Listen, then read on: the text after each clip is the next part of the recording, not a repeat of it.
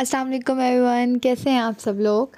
आ, तो बेटा जी आज का जो हमारा टॉपिक है वो है एक्चुअली हम आज एम सॉल्व करने वाले हैं चैप्टर नंबर एट के जिसका नाम है डाइवर्सिफिकेशन अमंग प्लांट्स ठीक है? उसका पहला एम कहता है कि रैपिड डाइवर्सिफिकेशन जो प्लांट्स में हुई वो कौन से पीरियड में हुई वो कौन से एरा में हुई कौन सा पीरियड था जहाँ पे जो है ना वो डाइवर्सिफिकेशन रैपिड डाइवर्सिफिकेशन हुई यानी ज़्यादा से ज़्यादा हमें प्लांट्स की स्पीशीज़ को पता चली। अच्छा आपके बुक में जो डिवोनियन पीरियड इवन दो डिवोनियन और कॉनिफरस पीरियड जो है ना, वो दोनों पीरियड ऐसे हैं जिनमें रैपिड डाइवर्सिफिकेशन हुई थी प्लांट्स में। लेकिन डिवोनियन पीरियड के बारे में आपकी बुक में नहीं लिखा हुआ तो हमारे हिसाब से, हमारी बुक के हिसाब से जो पीरियड मतलब पीरियड ठीक होगा, वो कॉनिफेरस पीरियड होगा, कि कॉनिफेरस एक ऐसा पीरियड था जहाँ में प्लांट्स में डाइवर्सिफिकेशन बहुत ज़्यादा हुई थी, ठीक है?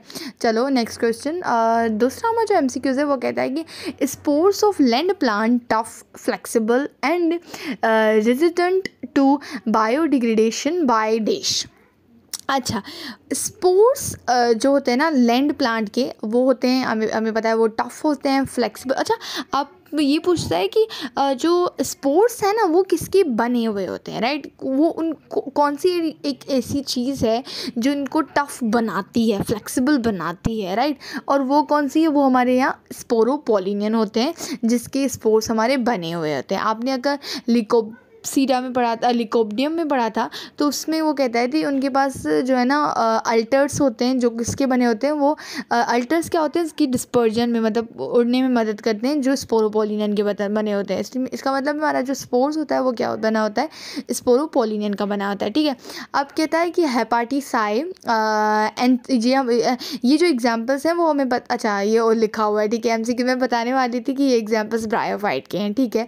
Hepaticae Anthocerotae and Musci are the classes of ये कौन आपने अगर बुक पढ़ा हो तो उसमें uh, साफ़ शफाफ अल्फाज में लिखा हुआ है कि ये एग्जाम्पल्स ब्रायोफाइट्स के हैं ठीक है?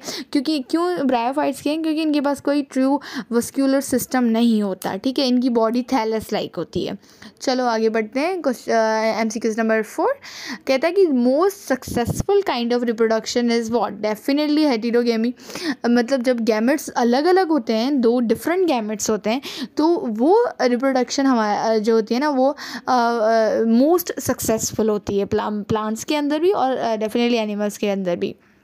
Okay of the the dominant generation of living vascular plants consisting as पता नहीं क्या लिखा एज नज़र नहीं आ रहा as free living plants I think as free living plants is called dash okay the dominant generation of living vascular plants अच्छा जो वस्कुलर प्लांट्स हैं वस्कुलर प्लांट्स को हम क्या कहते हैं ट्रैक्योफाइट्स कहते हैं तो कहता है कि ट्रैक्योफाइट्स की जो है ना वो कौन सी जनरेशन uh, डोमिनेंट होती है हमें पता है कि जो ब्रायोफाइट्स होते हैं उन उन उन पर उनकी डोमिनेंट जो होता है ना, वो गेमेटोफाइट होता है। और जो ट्रेक्योफाइट्स होते हैं, उनके पास क्या होता है? उनके पास हमारा बेसिकली क्या होता है कि स्पोरोफाइट जो होती है ना, वो जनरेशन डोमिनेंट जनरेशन होती है, ठीक है? चलो अब आगे बढ़ते हैं और आगे का हमारा जो एम है this is the most primitive living vascular plant is अच्छा जो प्रिमिटिव वस्कुलर प्लांट है, ठीक है?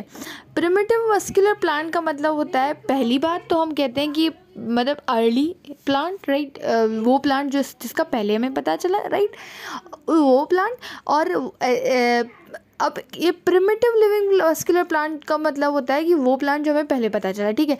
तो इसमें इसका जो करेक्ट uh, ऑप्शन है सी सीलोपसीडा या सीलोप फाइटा जो लिखा हुआ है ये जो है ना वो प्लांट्स ऐसे हैं जिनका हमें पहले पता चला ठीक है? अब आगे बढ़ते हैं। अब आगे कहता है the gametophyte of fern is called dash हमें पता है gametophyte of fern is called prothallus book की लाइन है।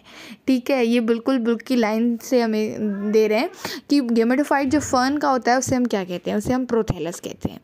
ओके अब कहता है double fertilisation is the characteristic feature of आपने अगर एंजियोस्पर्मिक प्लांट की लाइफ साइकिल पढ़ी हो तो उसमें जो है ना, वो ट्रिपलेट की फॉर्म में एंडोस्पर्म फॉर्मेशन करते हैं और वैसे भी एक स्पर्म में मिलता है, वहाँ पर फर्टिलाइज यानी एक ही टाइम पर दो दो फर्टिलाइजेशन होती रहती हैं। अगर आपने उसका लाइफ साइकिल पढ़ा है तो वो बहुत सिंपल है। उसमें बताता है कि दो एक ही टाइम पे दो फर्टिलाइजेशन हो रही है ठीक है? इसका मतलब एंजियोस्पर्मिक प्लांट एक, एक ऐसे प्लांट है जिसमें एक ही टाइम पे दो फर्टिलाइजेशन डिफरेंट फर्टिलाइजेशन होती रहती हैं। तो हम कहते हैं कि डबल फर्टिलाइजेशन का कैरेक्टर किसके पास है? एंजियोस्पर्मिक प्लांट्स के पास है ओके अब कहता है resin turpentine pine oil are obtained from अच्छा रेजिन टर्बाइन और पाइन ऑयल जो होते हैं ना वो हमें कहाँ से ऑप्टेन होते हैं? अच्छा ये मैंने एम सी क्यूज़ यहाँ पर टिक नहीं किया ओके कोई बात नहीं। हम बताते हैं कि जो जो रेजन होता है, या टर्बाइंस होते हैं, या पाइन होते हैं, वो जो है ना, वो हमेशा हम मोस्टली वीकेंड से जो है ना, वो हमें मिलते हैं पाइंस में से पाइंस जो है ना, वो मेन सोर्स है, ठीक है? Okay finally the last one और लास्ट हमारा कहता है कि in banana tree flowers are covered over by one और मोर लार्ज ब्रांचेस और ब्रैकेट्स आई डोंट नो मुझे नज़र नहीं आ रहा। आई होप इट्स ब्रैकेट्स या it it should be brackets like कहता है कि in banana tree flowers are covered बा ओवर बाय वन और मोर लार्ज ब्रैकेट्स हाँ ब्रैकेट इज़ कॉल्ड डिश आप, ये भी अच्छा बुक की लाइन है. अगर आप बुक को खोलेंगे ना तो उसमें ये भी लाइन लिखा लाइन लिखी होगी कि बनाना ट्री के जो फ्लावर होते हैं ना, वो ब्रैकेट्स की फॉर्म में होते हैं और जिसको हम क्या कहते हैं, जिसे हम स्पैथस कहते हैं. स्पैथस उनका नाम है, जिन्हें हम कहते हैं ब्रैकेट्स को कहते कहते हैं जो लार्जली बनाना ट्री पे होती हैं ठीक है?